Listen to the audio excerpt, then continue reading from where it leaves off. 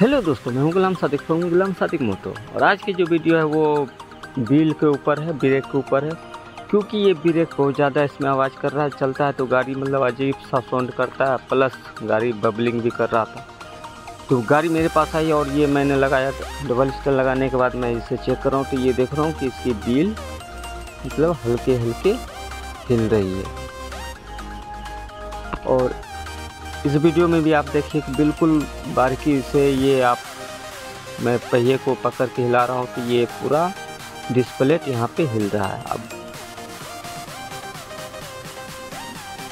ये ये बिल्कुल ये देखिए ये देखिए हल्के हल्के ये बबलिंग सा कर रहा है। इसकी वजह से क्या होता है कि चक्का तो मेरा बिल्कुल ऐसे, अगर मैं फ्री घुमाता हूँ तो बिल्कुल फ्री घूमता है, लेकिन जब चलता है तो ब्रेक में से नॉइस आता है, जो घिस घिस घिस घिस के इस तरह के आता है। तो बिना देरी की आप चले देखते हैं कि इस तरफ़ से भी मैंने चेक किया तो ये सॉकेट वाला भी लग रहा है कि बैरिंग बिल्कुल सच है।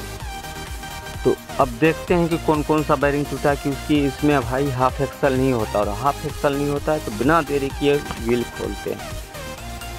चक्का खोलने के लिए सबसे पहले आपको तो 24 नंबर बोल्ट खोलना है, उसके बाद सोकर का सत्रह नंबर खोलना है।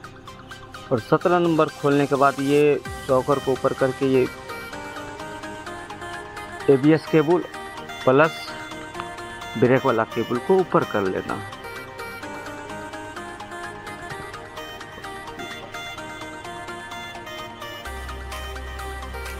इसके बाद चैन हम उतार के चैन में इसको साइड में करेंगे क्योंकि हाफ़ एक्सल नहीं है। जैसे मैंने पहले ही बता रखा है तो अब इसको जो है चक्का निकाला बाहर, मैंने चक्का निकालने के बाद ये देखिए बैरिंग जो है निकाल रहे हैं।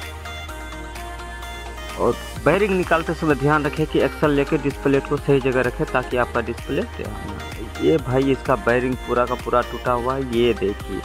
यही वजह थी जो ब्रेक में नॉइस था और नॉइस के साथ साथ ये देखिए इसका पॉपुलर भी इसमें फंसा हुआ है। अब तक के लिए इतना ही। फिर मिलते हैं नए वीडियो के साथ। अगर ये मेरी वीडियो अच्छी लगी तो लाइक कमेंट शेयर